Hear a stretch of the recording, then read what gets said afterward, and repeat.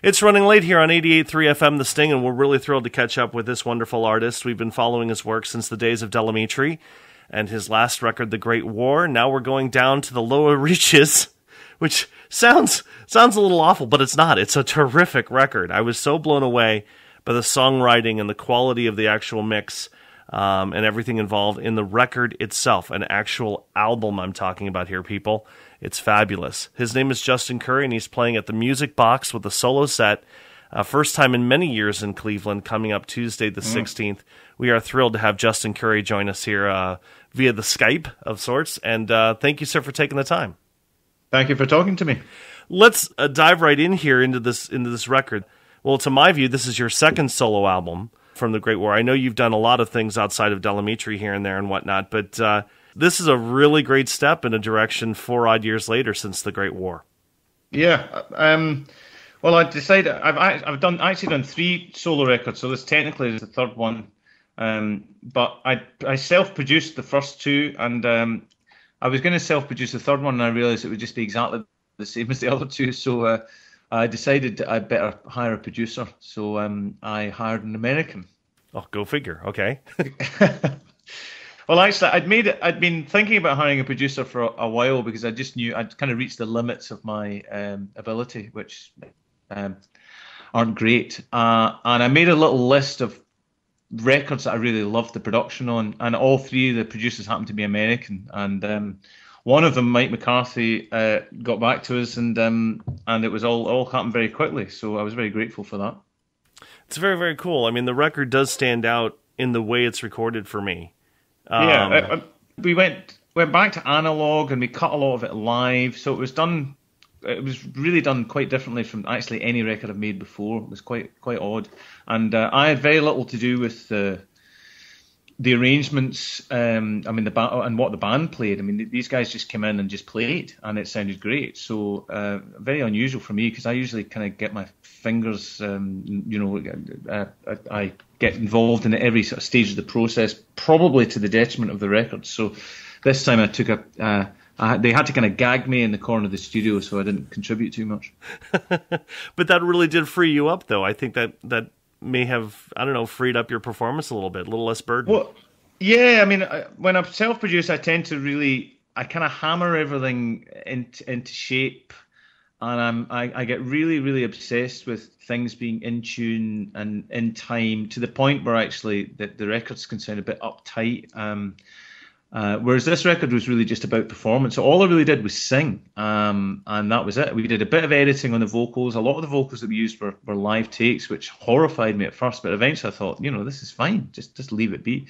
So he kind of taught me quite a, a lot of um, valuable lessons in recording, Mike McCarthy, uh, which is just, you know, it, it doesn't have to be right, it just has to be good. Well, lyrically, I was definitely taken back. That I, I always used to joke about, you know, the, the people who try to be like the, the singer songwriter troubadours have the hardest time because they're trying to fit a mold. But you've really done a great job just singing these songs, and I and I mean that in the way of an artistry as opposed to just a performance you're trying to get on tape and then put together a package and all that kind of stuff. It does feel like that performance, probably because of that that freedom mm-hmm. you were mm-hmm. given. One yeah. of the songs that really took me away was uh, was early in the record. Every song's the same. I thought, wow, he's actually singing to me how to do a song. well, uh, hopefully I'm not. I wouldn't. I wouldn't want to. I wouldn't want to teach anybody uh, I, actually how to write a song because, like most songwriters, I'm utterly clueless how uh, how it happens. Um, I, I read a, a, really interesting Neil Young quote uh, the other day where he, apparently he said that songs are like rabbits; they come out of the holes when you least expect them to. And I to- totally subscribe to that idea. Um, but yeah, I'm not. I, I think that's kind of a love song. Every song's the same. I'm not entirely entirely sure uh, what it's uh, what it's trying to say, but I'm definitely not trying to teach anybody how to write a song. That's for sure. A love song to the songwriting, I guess. I don't know. Maybe, yeah, yeah, yes, that's about right. That's about right, Todd. Priscilla has this drum machine that I swear is the same one I had in my Casio keyboard about 25 years ago. Yeah, and well, Mike's quite into his his uh, vintage um, vintage sounds. I think we might have got some of the sounds from that uh, beatbox from uh, possibly from an auto harp.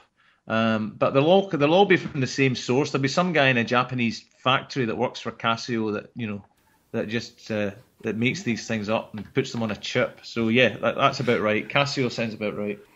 It certainly took my attention. I'm like, wow, that's like something I used to do, and and yet, of course, you do it so much better than me. So, well, I, again, that was Mike. I, I had nothing to do. I just played the guitar and sang one of the things that was amazing, and I guess a, a credit to Mike, but something that you're going to inherit here is that the album is concise and cohesive because a lot of the songs, like old records I used to listen to out of the 70s, I think, um, yeah. they, they kind of overlap way down in the mix at the end of each song. Yeah. If, you, if you listen yeah. per chance. Uh, it, is that something that kind of took you by surprise? Did, did, did you see that coming? No, I mean that was that was that was my doing really, and uh, um, I did the, the sequence and, and all that stuff. I've always wanted to uh, make sort of seamless albums so that there there are only breaks every so often. There there are breaks between the songs when there need to be. Other than that, um, I quite like doing crossfades as much as I can. I mean, in the old days when we were Del Amitri were on a major label, the the record companies used to really hate you doing crossfades. I mean, especially in the CD era where you know radio programmers would hate it because they would hear the tail end of the previous track when they queued up the track they wanted to play and all that kind of stuff. But um, I, I mean, it's something I'd like to get more into. Actually, make one of those seamless records like uh, you know what's going on, where everything just sort of fades in and out of of uh, of, of each of, of each you know previous song. Um, but uh, you know, there's a sort of theory that in the in the internet age we're moving away from the concept of making albums and we're just releasing tracks or collections of tracks. And I'm finding it very hard to give up the idea of an album, even though the the album as a format exists really purely. The format is really um, defined by how much audio information you could get on a 33 and a third RPM vinyl records. Um, but it's just it's it, like feature films, you know, three reel feature films. It's just the right length to kind of mm-hmm. tell a story, or the right length to put across the variety of the material that you've got. So I'm I'm still really in love with the idea of an of of the album as a format. You mentioned a couple a couple records in Marvin Gaye. I was just thinking of. Uh, I have a box set from Stevie Wonder a couple years ago, a four CD box set, and it wasn't until years after I'd already been listening to it that I realized that the songs actually cross over. They were actually melded yeah. together. And I know Pink Floyd did that with the greatest hits compilation. They totally mixed up the songs and crossed. Well, I mean, we did it. We did it a bit on some of the Del Amitri stuff, and, and in the analog era, it was quite hard to do it because you would finish all your mixes, and then you would have to create a like an, a crossfade edit. Um, so you'd have to have a sort of a, a strip of tape where you did the crossfade between the two mixes, which was vector. I mean, it's the same as the, the way they used to do um, uh, fades and uh, um, crossfades in, in, in, movies. So you had to make a sort of separate edit piece, which would technically be a technically be a copy, and it was it was a real pain doing it. So people hated doing it because it would take hours, mm-hmm. hours and hours and hours. But um, if you yeah if you insist enough, then you can get the engineers to do these things. I but now it. it's dead easy. Now you just do it on a. You could do it on a bloody phone now. You know. That's right. we take it for granted now. It's just not yeah, the same totally. thing. Very bizarre. Well, in re- in reference to Del Amitri, you've you've gone back to some of the things. There's a lot of mm-hmm. confusion about the status of this band and and and the future of the band, and by that I just mean in terms of what's out in the world, not necessarily collaborating, working together. The last mm-hmm. time you and I spoke, you were on hiatus, at least, yeah.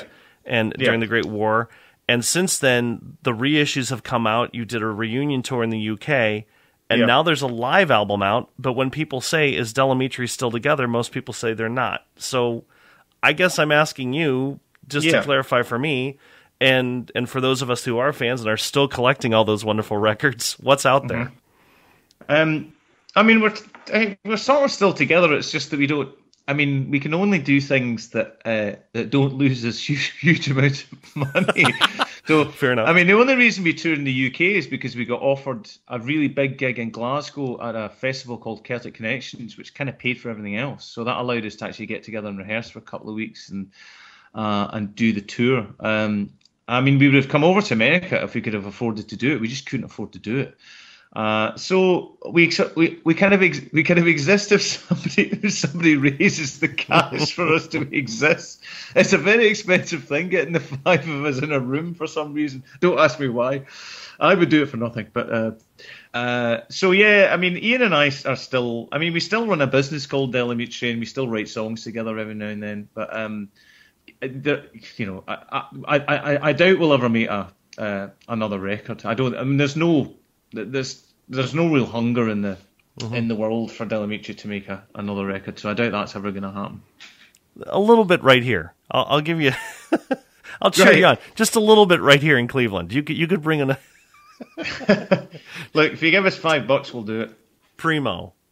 Well, I am. I am trying to. All my friends keep telling me you have to go get those reissues because all the amazing B sides and all the, the oh, stuff. Oh yeah, that's right. I forgot about that. Yeah. Finally compiled, and and those of us yeah. who have been slaving over getting them together.